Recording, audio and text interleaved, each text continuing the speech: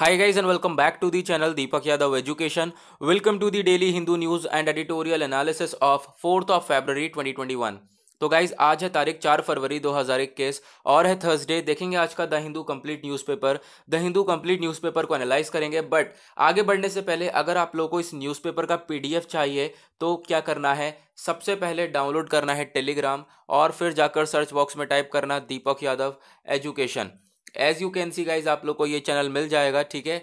यहाँ पे आप लोगों को क्लिक करना है। देखो, अगर आप लोगों को इस तरीके से चैनल नहीं मिलता है तो डायरेक्टली नीचे डिस्क्रिप्शन बॉक्स में टेलीग्राम लिंक के नाम से आप लोग को लिंक दे रखा है, वहाँ पे आप उस लिंक के ऊपर क्लिक करोगे तो ये चैनल ओपन हो जाएगा। देखो, इसको जाकर ज्वाइन कर लेना है, क्योंकि यहाँ पे आपको डेली बेसिस पे द हिंदू न्यूज़पेपर मिल जाता है, ठीक है? साथ ही साथ डेली करंट अफेयर के वीडियो का पीडीएफ मिल जाता है, साथ ही साथ डेली डिजिटल नोट्स मिल जाते हैं तो ये सारी चीज़ें बिल्कुल आपको यहाँ पे फ्री मिलती हैं, कोई पेड वगैरह नहीं है तो आप जाकर इसको ज्वाइन करके सब कुछ यहाँ पे फ्री में डाउनलोड कर सकते हो। ओके नाउ आगे बढ़ते हैं और आगे बढ़ने से पहले हमेशा की तरह हम लोग अपने लेक्चर को एक मैप के क्वेश्चन के साथ स्टार्ट करते हैं। तो आज का जो मैप का क्वेश्चन है वो आप लोगों के लिए है बोलीविया ठीक है? तो आपको देखना है बोलीविया कहाँ पर है एग्जैक्ट इसकी लोकेशन क्या है, किस किस से बोलीविया अपनी बाउंड्री को शेयर करता है। ये सारी चीज़ें अच्छी तरीके से मैप में देखो देन आकर नीचे कमेंट सेक्शन में यहाँ पर टाइप कर देना, जिससे आप लंबे समय तक याद रख पाओगे। देखो बहुत इंपॉर्टेंट है हम लोग धीरे धीरे ना हर एक लेक्चर में एक छोटा सा पोर्शन कवर करते हैं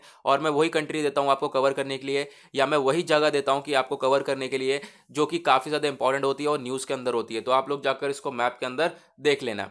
ओके okay, नाउ आज के जो आ, हमारे न्यूज़पेपर में चार मुश्किल से यहाँ पे तीन चार जो है मोस्ट इंपॉर्टेंट आर्टिकल्स हैं और बहुत सारे इंपॉर्टेंट आर्टिकल्स हैं। सभी आर्टिकल्स को हम लोग देखने वाले हैं और पेज वाइज डिस्कशन करेंगे, ठीक है? तो सबसे पहला जो हमारा पेज है पेज नंबर वन के ऊपर, यहाँ पे आप पहला आर्टिकल देखोगे, किस चीज़ के बारे में यहाँ पे मैसिव गैदरिंग हो चुकी है हरियाणा के अंदर। हरियाणा में आप लोगों को मालूम है, दिल्ली में मालूम है क्या सिचुएशन है। फार्म लॉस के अगेंस्ट जो है फार्मर प्रोटेस्ट कर रहे हैं, प्रदर्शन कर रहे हैं। अभी आप लोगों ने काफ़ी ज़्यादा सिचुएशन क्रिएट होती हुई देखी थी 26 जनवरी को, गणतंत्र दिवस पर बहुत ज़्यादा सिचुएशन क्रिएट हो चुकी थी। ठीक है फार्मर्स और पुलिस के बीच में काफ़ी टसल भी हम लोगों ने देखा था। ठीक है उसके बाद यहाँ पर आप आप क्या सिचुएशन है? सिचुएशन ये है कि हरियाणा के अंदर बहुत ज़्यादा गैदरिंग हो चुकी है। थाउज़ेंड ऑफ़ फार्मर जो है साथ में आ चुके हैं, ठीक है? और यहाँ पर क्या गुहार है इन सब लोगों की? मांग यही है कि जो फार्म लॉज हैं, उनको रिपील कर दिया जाए, ठीक है? उनको हटा दिया जाए। ये वही पुरानी बात है। ये आर्टिकल लगातार जब से फार्म लॉज आए हैं, तब से आर्टिकल यहीं पर बैठा हुआ है, ठीक है? यहाँ से हट नहीं रहा है आर्टिकल और ये आने वाले टाइम में अभी रहना ही है आर्टिकल ठीक है? तो ये हम लोग पढ़ चुके हैं काफ़ी बार। ना उसके बाद जो सेकंड आर्टिकल है, यहाँ पे आप लोग देख पाओगे। इसके अंदर क्या बताया गया? देखो government notice to Twitter on farmer genocide यहाँ पे हुआ क्या था?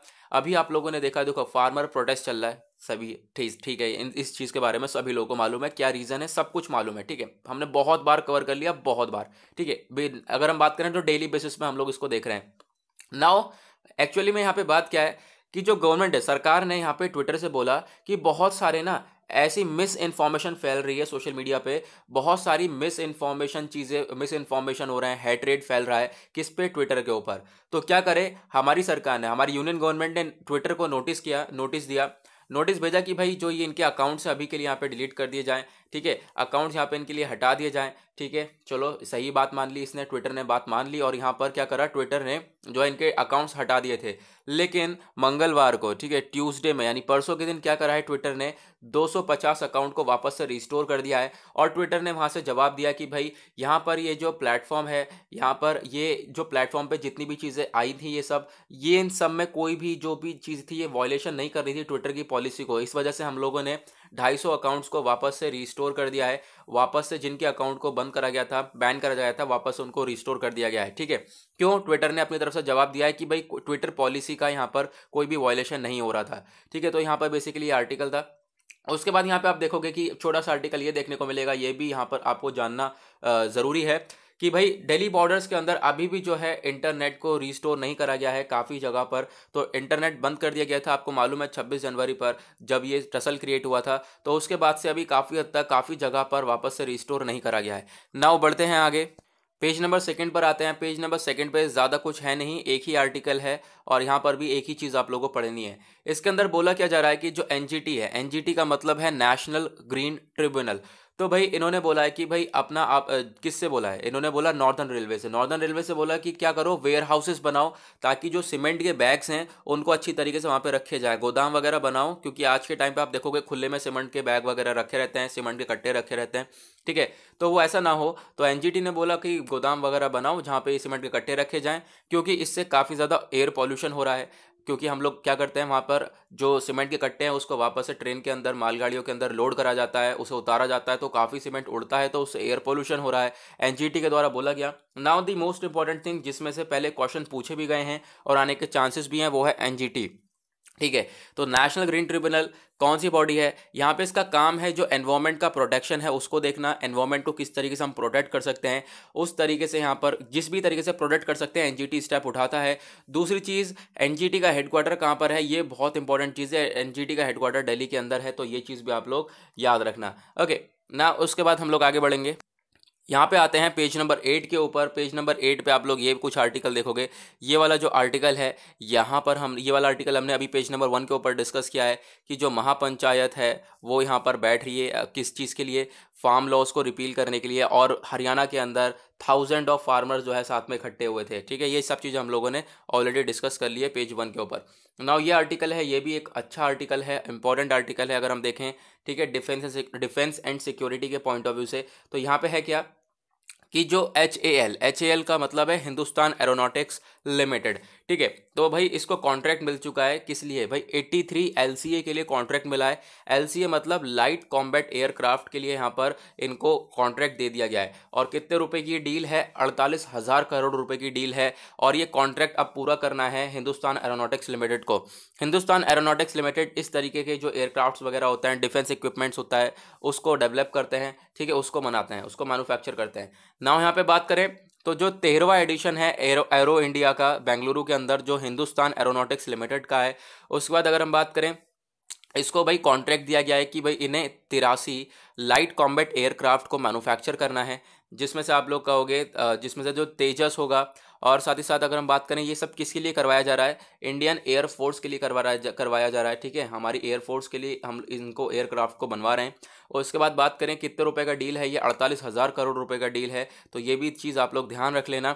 उसके बाद यहाँ पे आप देख पाओगे कि जो हमारे डिफेंस मिनिस्टर हैं राजनाथ सिंह जी इन्होंने बोला हम प्लान कर रहे हैं कि हम स्पेंड करेंगे एक सौ तीस बिलियन डॉलर ठीक है? एक सौ तीस डॉलर बिलियन कह लो आप लोग यहाँ पर इसको स्पेंड करने वाले हैं। मिलिट्री मॉडर्नाइजेशन के ऊपर, यानी मिलिट्री को और ज़्यादा मॉडर्न करने के लिए हम लोग इसको स्पेंड करेंगे और आने वाले सात आठ साल के अंदर ये पैसा खर्च करा जाएगा। उसके बाद बात करें तो ये जो हमने अभी ऑर्डर दिया है तिरासी light air light combat aircraft के लिए, वो आठ साल के अंदर डिलीवरी करी जाएगी। ठीक है, इसके अंदर, इस कॉन्ट्रैक्ट के अंदर कौन कौन से, इन तिरासी में से कौन कौन से हमने एयरक्राफ्ट को मंगाया है? सॉरी मैन्युफैक्चरिंग करवाई है। तो ये जो कॉन्ट्रैक्ट है इसके अंदर तिहत्तर सेवेंटी थ्री तो light combat aircraft Tejas M K one A होने वाले हैं और दस होने वाले हैं Tejas M K one trainer aircraft ठीक है, जो कि ट्रेनिंग देंगे। ये M K one A fighter aircraft होगा, ठीक है, तिहत्तर तो होंगे फाइटर एयरक्राफ्ट और एम के वन होंगे ट्रेनर एयरक्राफ्ट ठीक है। तो ये चीज़ आप लोग याद रखना, ये चीज़ काफ़ी इंपॉर्टेंट हो जाती है और यहाँ पर इसी के साथ ये वाला आर्टिकल भी हमारा ख़त्म हो जाता है। ना उसके बाद हम लोग बढ़ते हैं आगे। वैसे अच्छा हाँ। यहाँ पे क्या रीज़न है? देखो, इस टाइप के क्वेश्चन बन सकते हैं। क्या रीज़न है कि आज के टाइम पे कि हम लोग अपने डिफेंस को और ज़्यादा बढ़ा रहे हैं? ठीक है? इसके पीछे का क्या रीज़न है? आपको अगर मालूम हो तो तीन चार मुश्किल से अगर आप पाँच रीज़न लिख पाओ, अगर पाँच भी रीज़न लिख पाओ आराम से तो पाँच रीज़न ज़रूर लिखना नीचे कमेंट सेक्शन में कि भाई क्या ज़रूरत है हमें आज के टाइम पर अपने डिफेंस को बढ़ाने की, ठीक है? अपने एयरफोर्स को और ज़्यादा मॉडर्नाइज करने की।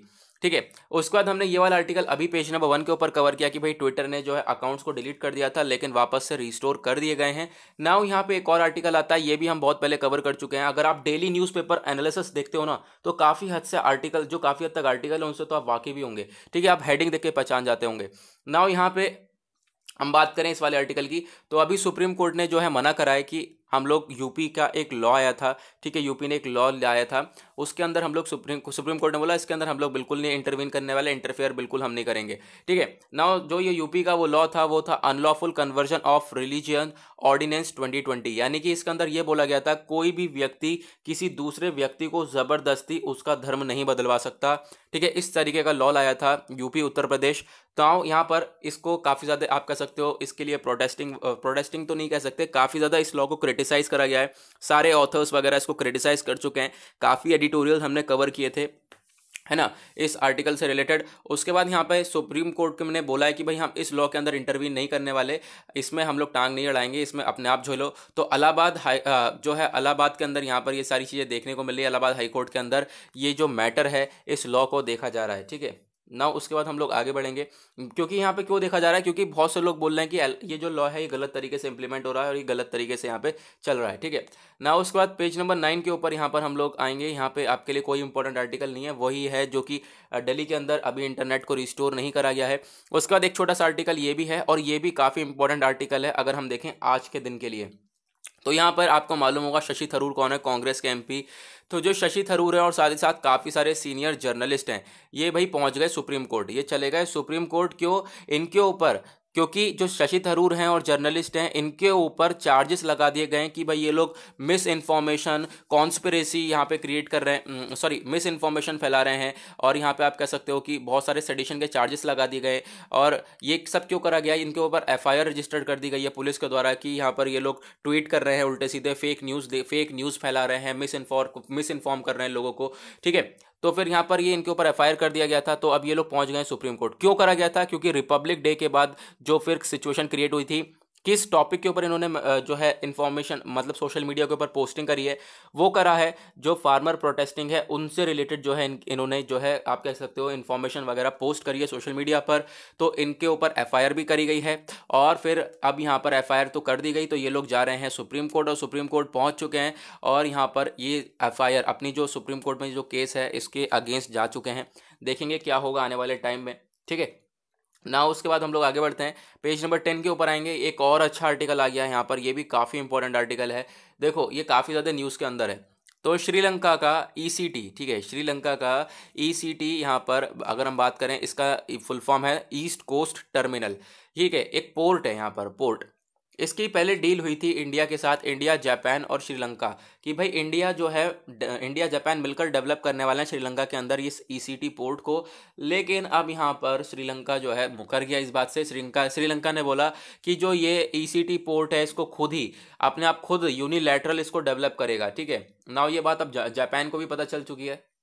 अब जापान भी यहाँ पर बीच में था तो जापान को भी बीच में से हटा रखा है श्रीलंका ने, ठीक है? तो यहाँ पर इसके बारे में थोड़ा सा हम पढ़ते हैं, लेकिन मैं आपको थोड़ा सा इसका मैप वगैरह दिखा देता हूँ, जो कि काफ़ी इंपॉर्टेंट हो जाता है, जिससे आपको एक क्लैरिटी मिलेगी। ना यहाँ पे आप लोग ये मैप देख पाओगे, ये ऊपर है हमारा प्यारा भारत, उसके बाद आप थोड़ा सा नीचे की साइड आओगे, ये मिलेगा साउथ सदर्न साइड में, श्रीलंका मिलेगा, श्रीलंका में ये वाला एरिया है कोलम्बो ठीक है? तो बेसिकली जो पोर्ट है ईसीटी e है ईस्ट कोस्ट टर्मिनल वो यहीं पर है। अब यहाँ पे इंडिया सोच रहा था कि भी अपना पोर्ट बना लेंगे, हम लोग अच्छी तरीके से जो है यहाँ पर जापान इंडिया और श्रीलंका मिलकर पोर्ट बना लेंगे। काफ़ी हद तक जो है इंडिया को हेल्प मिलेगी, क्योंकि यहाँ से कनेक्टिविटी इंडियन ओशन रीजन में काफ़ी बढ़िया होगी।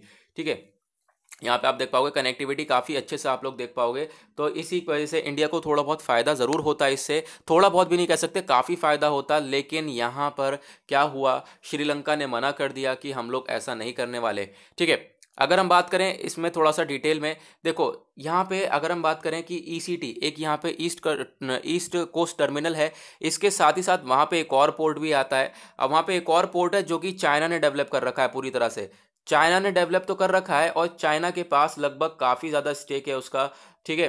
चाइना के पास लगभग 75 परसेंट का स्टेक है मे बी मुझे सही से याद नहीं है बट यहाँ पे 70 पिछहत्तर परसेंट तक जो है स्टेक होल्डर बन चुका है चाइना और चाइना ने ही श्रीलंका के अंदर डेवलप किया था। अब यहाँ पे वो चाइना के हक में बन गया पोर्ट पूरा का पूरा। तो इसी चीज़ को देखते हुए जब इंडिया ने ये आप कह सकते हो एग्रीमेंट हुआ इन तीनों के बीच में कि हम लोग भी पोर्ट बनाएँगे और उसमें देखते हुए यहाँ पर लोगों ने प्रोटेस्ट करना चालू कर दिया। श्रीलंका के लोग प्रोटेस्ट कर रहे हैं कि भाई इंडिया को इसमें इंक्लूड नहीं करना चाहिए क्योंकि फिर यहाँ पर इंडिया के पास भी ज़्यादा स्टेक चला जाएगा, हमारे पास हमारे हाथ से ये भी निकल जाएगा, ठीक है? आप लोग देख पाओगे कि लोग प्रोटेस्ट कर रहे हैं कि हमारे हाथ से ये भी निकल जाएगा। तो यहाँ पर फिर उसके बाद मीटिंग वगैरह करी गई थी। तो यहाँ पे पहली बात तो ये न्यूज़ आई थी कि हाँ इंडिया को निकाला जा रहा है। इस इस एग्रीमेंट से यहाँ पे इंडिया को जो श्रीलंका और इंडिया साथ में मिलकर काम नहीं करेंगे। लेकिन फिर उसके बाद अभी आप लोगों को मालूम है छः जनवरी को हमारे external affair minister Jaishankar Prasad ji गए थे श्रीलंका। उन्होंने बैठ चीज़ के बातचीत करी है कि भाई चलो आ, हम स्टेक होल्डर नहीं रखेंगे स्टेक होल्डर आप रख लेना। फोर्टी नाइन परसेंट तक स्टेक होल्डर श्रीलंका रखेगा ये तय हो गया था। अब जब जयशंकर प्रसाद जी आ गए वापस इंडिया तो उसके कुछ दिन बाद फिर से यहाँ पे सिचुएशन क्रिएट हो गई। लोगों ने फिर प्रोटेस्ट किया और यहाँ पर पूरी तरह से फिर श्रीलंका का आया है। श्रीलंका का फिर वहाँ पर मैसेज आया कि भाई श्रीलंका अकेले ही जो है इस पोर्ट को बनाएगा, अकेले इस टर्मिनल को बनाएगा। और इंडिया का दिल रखने के लिए बोल दिया कि अगर आने वाले टाइम में हम लोग वेस्ट कंटेनर टर्मिनल बनाएँगे ना तो उसमें हम लोग इंडिया को शामिल कर लेंगे। अभी के लिए हम लोग ईस्ट कोस्ट जो टर्मिनल है, उसे हम लोग खुद डेवलप करने वाले हैं। तो इंडिया एक एक तरीके से बात यह है कि श्रीलंका जो है पूरी तरह से एग्रीमेंट उसे तोड़ चुका है। और अगर हम बात करें, ये एग्रीमेंट दो लोगों के बीच में नहीं था, ये एग्रीमेंट था तीन लोगों के बीच में। किस किस के बीच में? श्रीलंका जापान और इंडिया के बीच में। और जब तीन लोगों के बीच में एग्रीमेंट होता है तो हम क्या बोलते हैं? अच्छा दो लोगों के बीच में होता है तो बायोलेटरल बोलते हैं सिंगल होता है यूनिलेटरल तीन होता है तो ट्रेप ट्रेपार्टाइट बोलते हैं, ठीक है? तो ये याद रखना। तो यहाँ पर इन तीनों के बीच में हुआ था ये एग्रीमेंट और यहाँ पर ये एग्रीमेंट अब ख़त्म हो चुका है तो ये चीज़ आप लोग ध्यान रखना। श्रीलंका ने बोला है कि हम लोग खुद अपना पोर्ट को डेवलप कर लेंगे।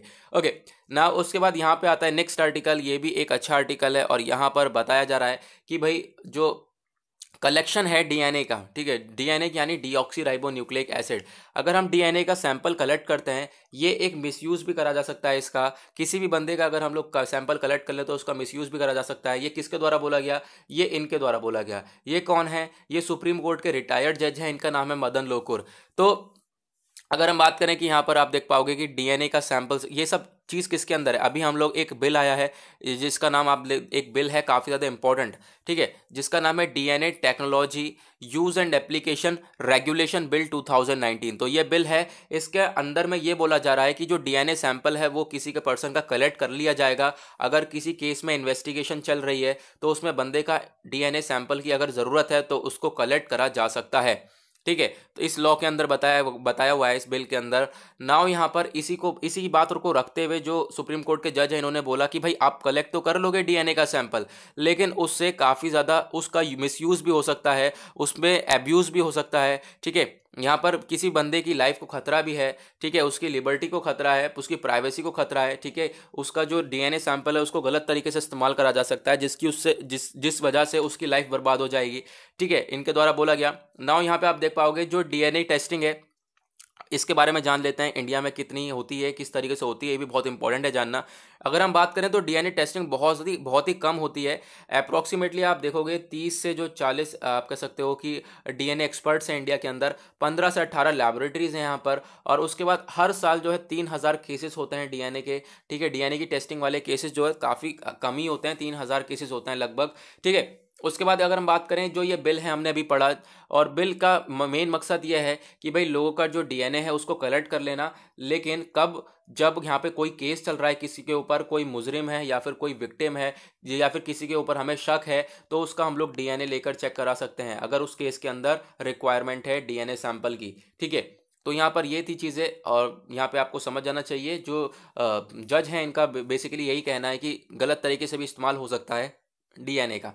नाउ पेज नंबर इलेवन पे एडवर्टीजमेंट है पेज नंबर ट्वेल्व के ऊपर भी एडवर्टीजमेंट है, आप लोग इजिली स्किप कर पाओगे। पेज नंबर थर्टीन पे आप लोग ये वाला आर्टिकल देखोगे, इस वाले आर्टिकल को हम एडिटोरियल के साथ कवर करेंगे, ठीक है? एक एडिटोरियल दे रखा है, फिर उसके बाद, उसे पढ़ने के बाद हम लोग यहाँ पर आएँगे इसको कवर करने के लिए। नाउ यहाँ पे आप लोग देख पाओगे कि जो, जैसे कि आप लोग को मालूम है यूएसए के अंदर नए प्रेसिडेंट आ चुके हैं जो बाइडन तो जो बाइडन के होमलैंड सिक्योरिटी चीफ बना दिया है, एक नए होमलैंड सिक्योरिटी चीफ बन चुके हैं वहाँ पर।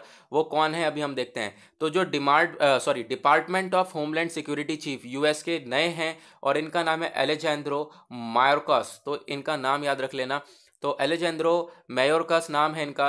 ये एक आप कह सकते हो फ़र्स्ट लेटिनो और फ़र्स्ट इमिग्रेंट और हेड हैं डीएचएस के। डीएचएस यानी डिपार्टमेंट ऑफ़ होमलैंड सिक्योरिटी के बना दिए गए हैं। ये डायरेक्टली वनडे एग्ज़ाम में भी पूछा जा सकता है। आपसे डायरेक्टली क्वेश्चन बन सकता है। ना उसके बाद यहाँ पे एक आर्टिकल देखे, देखने को मिलेगा आप लोगों को। ये हम लोग वर्ल्ड पेज को कवर कर रहे हैं, जो कि दुनियादारी के अंदर आर्टिकल चल रहे हैं। ठीक है यूएस ने एक्सटेंड कर दिया आपने। यूएस ने एक स्टार्ट न्यूक्लियर को अपना बढ़ा दिया है रशिया के साथ। अब यहाँ पे फ़ायदा क्या होगा कि भाई जो टेंशन हैं वो कम क्रिएट होंगी। किस चीज़ को लेकर? आर्म्स रेस को लेकर जो है यूएसए और रशिया आपस में नहीं भिड़ेंगे तो यहाँ पर जो स्टार्ट न्यूक्लियर ट्रीटी थी उसको बढ़ा दिया गया रशिया के साथ, ताकि जो रिलेशन है उसको थोड़ा बहुत मेंटेन करा जा सके। नाउ पेज नंबर फोर्टीन के ऊपर आएँगे that is business page economic से रिलेटेड आर्टिकल आप लोगों को यहाँ पे देखने को मिलते हैं। तो यहाँ पर आज एक ही आर्टिकल है, पढ़ने लायक वो ये है। और यहाँ पर क्या बताया गया? अभी हम लोगों ने बजट के अंदर भी डिस्कस किया है इसको कि जो इंडिया का फ़िज़िकल पोजीशन है वो काफ़ी ज़्यादा वीक है। इंडिया फ़िज़िकल डेफिसिट के अंदर चल रहा है। फ़िज़िकल डेफिसिट के मतलब आ, मतलब यह है जो रेवेन्यू है वो माइनस में होगा यानी इनकम है वो अपनी मतलब कम है और जो एक्सपेंडिचर है वो प्लस में रहेगी। एक्सपेंडिचर जो है वो ज़्यादा है। आमदनी अठन्नी खर्चा रुपया अगर आप कहो तो उसे हम कहेंगे फ़िज़िकल डेफिसिट तो इंडिया के आज के टाइम पर फ़िज़िकल डेफिसिट काफ़ी बड़ा हुआ है। अगर हम देखें तो लगभग 9.5 परसेंट के आसपास है। और हमारा गोल ये है कि आने वाले टाइम में हम लोग इसको गिराकर 6.8 परसेंट कर दें और फिर आने वाले टाइम में और ज़्यादा हम लोग 2025-26 तक इसको 4 परसेंट कर दें। क्योंकि आज के टाइम पर कमाई कम हो रही है, खर्चे ज़्यादा हो रहे हैं तो इससे ग्रोथ में आप कह सकते हो डेवलपमेंट नहीं देखने को, ग्रोथ देखने को नहीं मिलेगी, ठीक है? और नुकसान देखने को मिलता है ऑब्वियस सी बात है, अगर आप लोग कमा कम रहे हो, कमा एक रुपये रहे हो, खर्च दो रुपये कर रहे हो तो फिर ऑब्वियस सी बात है, आपका जो अकाउंट है वो माइनस में ही चला जाएगा तो इस तरीके से यहाँ पर चीज़ें देखने को मिल जाती हैं। नाउ हम लोग चलते हैं अपने एडिटोरियल की तरफ़। उससे पहले आज का कार्टून देख लेते हैं तो कार्टून आप लोगों को दिख ही रहा होगा, यहाँ पर आ गई सरकार, और सरकार ने खेतों में लगा दी हैं उल्टी कीले। ठीक है, यहाँ पे आप देखोगे फार्मर नंगे पैर जो कि खेती नहीं कर पा रहा है, इस तरीके से कुछ यहाँ पर पिक्चर को दिखाया गया है। तो यहाँ पे डेली बेसिस पे ये जो कार्टून्स पिक्चर आते रहते हैं, ठीक है, जो इंपॉर्टेंट कार्टून होते हैं उनको हम लोग डिस्कस करते रहते हैं। ये बेसिकली फार्म लॉस से ही फार्मर के रिगार्डिंग ही ये कार्टून आपको देखने को मिल जाएगा। ओके नाव बढ़ते हैं एडिटोरियल की तरफ़। नाउ यहाँ पे आप देख पाओगे एडिटोरियल्स को, सबसे पहले तो ये बजट से रिलेटेड एडिटोरियल है, इसको हम कवर नहीं करेंगे, ठीक है? क्योंकि हम लोग बजट के ऊपर ऑलरेडी वीडियो बना चुके हैं, ये भी बजट से रिलेटेड एडिटोरियल है बजट में क्या करना चाहिए था, क्या नहीं करना चाहिए था, वही चीज़ें ये हम लोग ऑलरेडी डिस्कस कर चुके हैं। ऐसे आर्टिकल आते रहेंगे आने वाले टाइम में भी, ठीक है? अब यहाँ पे हम लोग को एक दो एक दो एक दो करके आर्टिकल डेली देखने मिलने, देखने को मिलने वाला है बजट से रिलेटेड नाउ अगर आप भी अभी भी आप लोग को बजट के बारे में नहीं मालूम है बजट का वीडियो नहीं देखा है तो नीचे डिस्क्रिप्शन बॉक्स में आप लोग को बजट के वीडियो का लिंक दे रहा हूँ, आप वहाँ से जाकर देख सकते हो। ओके उसके बाद म्यांमार के अंदर क्या सिचुएशन चल रही है, इसको देखेंगे। ये म्यांमार वाला एक और आर्टिकल आया हुआ है, यहाँ पे आप देख सकोगे, दोनों ही म्यांमार के हैं। अभी मैंने ऊपर वाला दिखाया और ये वाला भी, दोनों म्यांमार से रिलेटेड है। उसके बाद इसका एक थोड़ा सा ओवरव्यू लेंगे, ये वाला काफ़ी इंपॉर्टेंट तो नहीं है, लेकिन यहाँ पे इसका एक ओवरव्यू लेंगे और इसके नीचे वाला आर्टिकल इंपॉर्टेंट है काफ़ी तो इसको भी हम लोग देखने वाले हैं। ओके ये हमारे कल के एडिटोरियल से आप लोगों को मालूम होगा, क्योंकि हम लोग एक दिन पीछे के एडिटोरियल को डिस्कस करते हैं। नाउ यहाँ पर अगर हम बात करें तो सबसे पहले हम म्यांमार की बात करें। तो म्यांमार के अंदर सिचुएशन काफ़ी ज़्यादा बेकार हो चुकी है। क्यों? क्योंकि वहाँ पे मिलिट्री जो है मिलिट्री चाहती है कि अपने हाथ के अंदर रूल लिया है। एक मिलिट्री जो है, वहाँ पे सरकार ना बनाए रूल और मिलिट्री जो है, उसको कंट्रोल करे पूरे के पूरे म्यांमार को। ठीक है, ऐसा पहले होता हुआ आ रहा था। ठीक है, पहले मिलिट्री ही कंट्रोल करती थी म्यांमार को। नाउ मिलिट्री फिर से यही चाहती है कि भाई इसको कंट्रोल करा जाए। 2010 के बाद कुछ टाइम तक जो है यहाँ पे राहत मिली। 2010 के टाइम 2010 के बाद जो है यहाँ पर आप कह सकते हो सरकार वगैरह बनी थी। नाउ फिर से यहाँ पर ये सिचुएशन क्रिएट हो गई है और मिलिट्री चाहती है कि वो मिलिट्री रूल करे म्यांमार के अंदर। ठीक है अगर हम बात करें उन्नीस सौ बावन से ही यहाँ पर मिलिट्री रूल चल रहा था, काफ़ी टाइम तक, लगभग 50 साल तक मिलिट्री रूल रूल चला था। लेकिन उसके बाद यहाँ पे काफ़ी टाइम बाद सरकार बनी थी और यहाँ पे एक पार्टी चलती थी एनएलडी करके, जिसका नाम है नेशनल लीग फॉर डेमोक्रेसी तो आज के टाइम पर भी जो इसकी लीडर थी, वो है ओंग सुन सुई की ठीक है, इनका नाम है ओंग सुन की, यहाँ पर ये एक लीडर है। नाव इनको भी बुरी हालत हो चुकी है आज के टाइम पर। क्यों? क्योंकि मिलिट्री ने पूरी तरह से कंट्रोल जमा रखा है। मिलिट्री कूप आप लोगों को देखने को मिल रहा है, यानी कि तख्ता पलट। ठीक है, मिलिट्री ने पूरा तख्ता पलट कर दिया है वहाँ पर। ठीक है, यहाँ पे आप देख सकोगे इमरजेंसी और कूप इमरजेंसी यहाँ पे मिलिट्री ने एक्शन अपना ये लिया है कि पूरे साल के लिए इस बार म्यांमार के अंदर इमरजेंसी लगा दी जा रही है और दूसरी चीज़ यहाँ पर म्यांमार के अंदर तख्ता पलट भी देखने को मिल रहा है, यानी कि जो मिलिट्री है, वो अपना रूल लेकर आ रही है और मिलिट्री रूल करने वाली है म्यांमार को वापस से. ये सिचुएशन यहाँ पर देखने को मिलेगी. अब यहाँ पे मिलिट्री ऐसा कर क्यों रही है? क्यों ऐसा यहाँ पर उसके दिमाग में आया है? तो यहाँ पे मिलिट्री का ये कहना है कि जो अब की बार जो इलेक्शन हुए हैं, अभी आप लोगों को मालूम होगा, पिछले साल नवंबर के अंदर इलेक्शन हुए हैं और उसमें से जो ओंग सुनसुई की हैं, वो जीत कर आई हैं, ठीक है एनएलडी पार्टी की। नाउ तो यहाँ पर ये जीत कर तो आई है, लेकिन जो मिलिट्री है, उसका ये कहना है, ये इलेक्शन जो है, फेयर तरीके से नहीं हुए हैं। यहाँ पे गलत तरीके से, यहाँ पे गलत तरीके से ये जीती हैं, और इलेक्शन के अंदर बहुत ज़्यादा यहाँ पर आप कह सकते हो, गलत तरीके से यहाँ पर इलेक्शंस लड़े गए थे। तो इसके अंदर मिलिट्री के द्वारा ये बोला गया। नाउ उसके बाद दो यहाँ पर ये मिलिट्री आ चुकी है मैदान के अंदर, और पूरी तरह से अपना इन्होंने डेरा जमा रखा है। और जो अभी हमने आर्टिकल देखा था उसके अंदर ये था कि जो एनएलडी की यहाँ पे लीडर हैं, ठीक है, जो कि अभी जीती हुई थी, यहाँ पे एनएलडी की लीडर कौन है? ओंग सन सुई की, ठीक है, मैंने अभी आपको बताया। इनको रिमांड पर ले लिया है। इनको बहुत, आज के टाइम पर परेशानियाँ हो रही हैं, इन्हें परेशान करा जा रहा है। आज के, अभी आप लोगों को मालूम होगा, इनको डिटेन भी कर दिया गया था, काफ़ी टाइम तक कस्टडी में रखा था। नाव फिर से इनको रिमांड पर ले लिया गया है, ठीक है। उस आर्टिकल के अंदर वही बताया गया है। तो आज के टाइम पर म्यांमार के अंदर ये सिचुएशन है, लोग आप देखोगे आ निकल कर आ चुके हैं सड़क के ऊपर।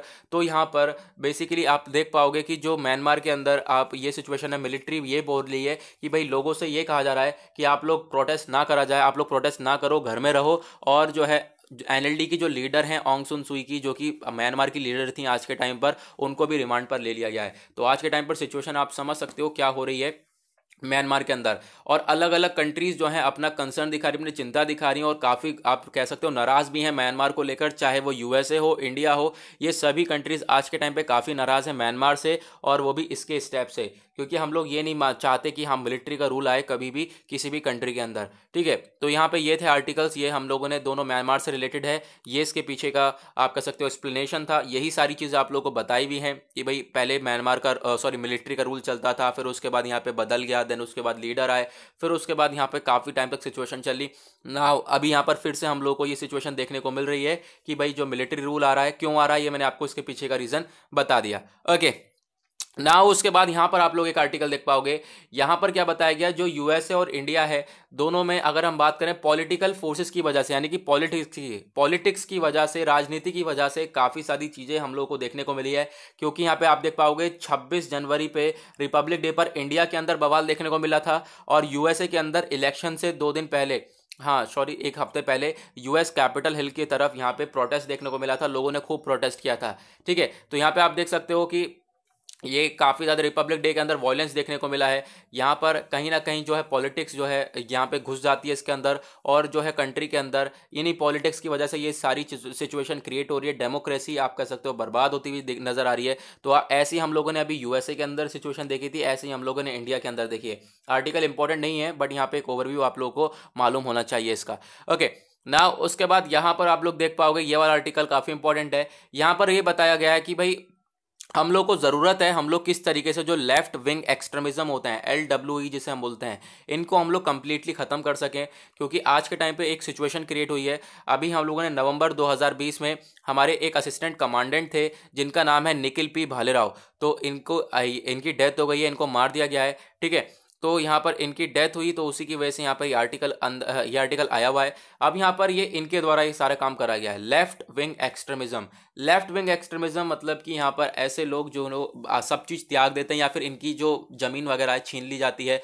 ना फिर ये इंसान जो है फ्रस्ट्रेशन में आकर बंदूक पकड़ लेता है और उसके बाद यहाँ पर आगे बढ़ जाता है और इस इस इंसान को अपनी जान की परवाह भी नहीं होती है। Left extremism sorry left wing extremism को। ठीक है तो एल डब्ल्यू समझ गए होंगे आप लोग कौन होते हैं। नाउ ये नवंबर के अंदर ये देखने को मिला था, एक बॉम्ब ब्लास्ट देखने को मिला था नवंबर के अंदर, जिसकी वजह से assistant commander Nikhil P Bhalerao की डेथ हो गई थी। उसी वजह से यहाँ पर देखने को मिला। उसके बाद उससे पहले भी काफ़ी सारी सिचुएशन देखने को मिली है।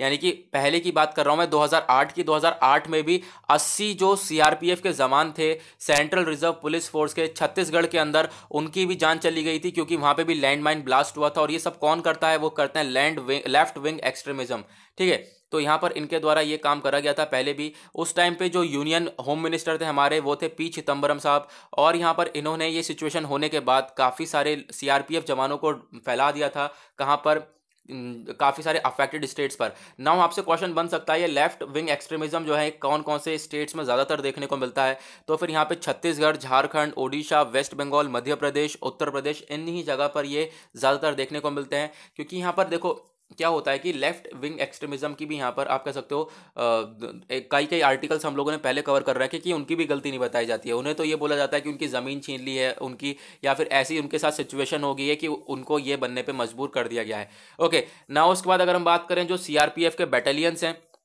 यहाँ पर इनको बाहर निकाल दिया गया था और यहाँ पर आप कह सकते हो सॉरी जो सीआरपीएफ के बटालियंस हैं, इन्होंने क्या करा, जो लेफ़्ट विंग एक्सट्रीमिज्म है, इनको काफ़ी सारे स्टेट से बाहर निकाला, छत्तीसगढ़ से बाहर निकाला। काफ़ी हद तक हम लोग ख़त्म कर चुके हैं इसको, लेकिन फिर भी हम लोग को और भी ज़्यादा इन एक्सट्रीमिज्म लोगों को ख़त्म करना पड़ेगा। ठीक है, ये चीज़ यहाँ पर बोली गई।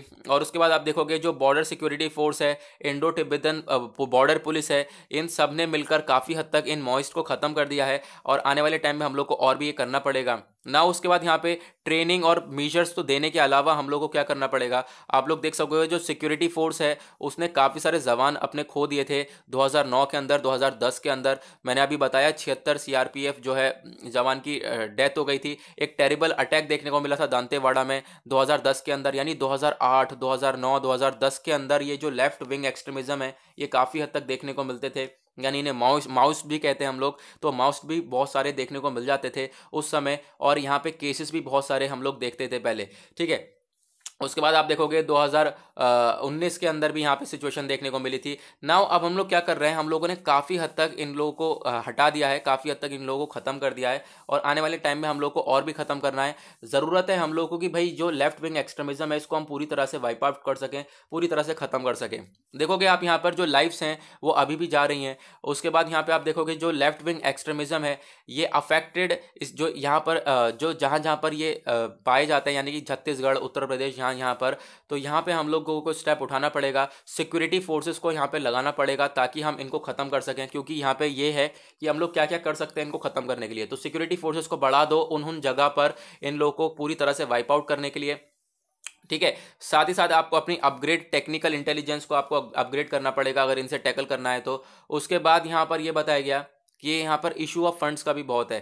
फंड का इशू देखने को मिलता है कि भाई, अगर हम बात करें इससे हटकर दूसरी चीज़ के ऊपर बात करें, जो लेफ़्ट विंग एक्सट्रीमिज्म है, आज के टाइम पर भाई इन्हें फंड भी मिल जाता है। क्योंकि अगर इन्हें फंड नहीं मिलेगा तो आगे ग्रो नहीं करेंगे तो इनका इनको फंड मिल जाता है, जिसकी वजह से यहाँ पे ग्रो कर रहे हैं, इनका फंड भी कट डाउन करना पड़ेगा, जहाँ से भी हम लोग को मालूम चल रहा है। ना उसके बाद यहाँ पे आप लोग देख पाओगे, ये कुछ स्टेप्स हैं जिनके थ्रू हम लोग जो है ये स्टेप उठा सकते हैं। और अपने जो सीआरपीएफ जवान वगैरह हैं, इन लोगों को हमें, इनकी सिक्योरिटी के ऊपर काम करना पड़ेगा, इनको और ज़्यादा ट्रेन करना पड़ेगा जहाँ जहाँ किन किन जगह पर जिन्हें डिप्लॉय करा जा रहा है। ठीक है यहाँ यानी कि अगर हम एग्ज़ाम्पल करें छत्तीसगढ़ उत्तर प्रदेश यहाँ यहाँ पे जहाँ जहाँ पर left ex left wing extremism सबसे ज़्यादा है तो यहाँ पर आ, क्या करना पड़ेगा? जो हमें जवान है उनको डिप्लॉय करना पड़ेगा डिप्लॉय करना पड़ेगा और साथ ही साथ उन्हें एक्स्ट्रा हमें स्किल्स देनी पड़ेंगी एक्स्ट्रा उनकी सिक्योरिटी के ऊपर काम करना पड़ेगा क्योंकि पहले भी काफ़ी जवान हमारे इन चीज़ों को लेकर शहीद हुए हैं ठीक है? तो ये था कुछ आर्टिकल यहाँ पे लेफ़्ट विंग एक्सट्रीमिज्म से रिलेटेड उसके बाद यहाँ पे एक आर्टिकल छोटा सा आप लोगों को ये दिखेगा डेटा पॉइंट डेटा पॉइंट के अंदर ये बताया जा रहा है, आज के टाइम पे जो जस्टिस है वो काफ़ी ज़्यादा डिले हो रहा है, ठीक है? आप कह सकते हो केसेस पेंडिंग पड़े हुए हैं, लाखों केसेस केसेस पेंडिंग पड़े हुए हैं और यहाँ पर जो है आप कह सकते हो डिले पे डिले होता चला जाता है, जो जस्टिस है, न्याय नहीं मिल पाता किसी को जल्दी। क्यों? क्योंकि यहाँ पे जो कोर्ट के जजेस का, अगर हम कहें कोर्ट के जजेस की पोजीशन ही खुद ही वैकेंट पड़ी है, खाली पड़ी है।